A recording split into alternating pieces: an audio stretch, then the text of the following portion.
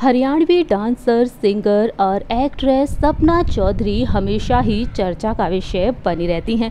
सपना चौधरी हमेशा ही अपनी अदाकारी, अपने सिंगिंग, अपने डांस के ज़रिए दर्शकों के दिलों पर राज करती हुई नज़र आती हैं। वेल दोस्तों, इस बीच सपना अपनी पर्सनल लाइफ को लेकर भी काफ़ी चर्चा में बनी रहती हैं। बीते कई दिनों से खबरें सामने आ रही हैं कि सपना चौधरी एक बार फिर से माँ बनने वाली हैं। कहा जा रहा है कि सपना चौधरी एक बार फिर से प्रेग्नेंट हैं। लेकिन हाल ही में अपनी प्रेगनेंसी की खबरों पर विराम लगा दिया है खुद सपना चौधरी ने।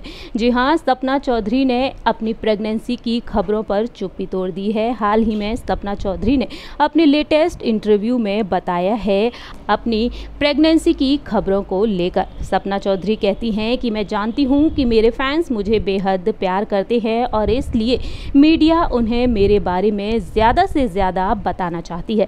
लेकिन मेरी प्रेगनेंसी की जो खबरें मीडिया में उड़ रही हैं, वह सही नहीं है। मैं फ़िलहाल सिर्फ़ अपने काम पर ही फोकस कर रही हूँ और अभी पाँच साल तक दूसरे बच्चे की कोई प्लानिंग नहीं की है।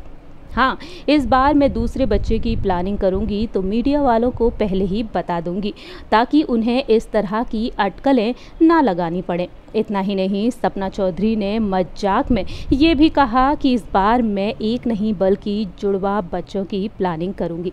और इस तरह से सपना चौधरी ने अपने लेटेस्ट इंटरव्यू में अपनी प्रेगनेंसी की उड़ती हुई अफवाहों पर विराम लगा दिया। फ़िलहाल सपना चौधरी अपनी अपकमिंग फ़िल्म लव यू लोकतंत्र की शूटिंग में व्यस्त है और इस फ़िल्म के चलते वह काफ़ी सुर्खियाँ बटोर रही हैं। हमारी इस रिपोर्ट में इतना ही। तब तक के लिए आप देखते रहिए नेक्स्ट नाइन न्यूज़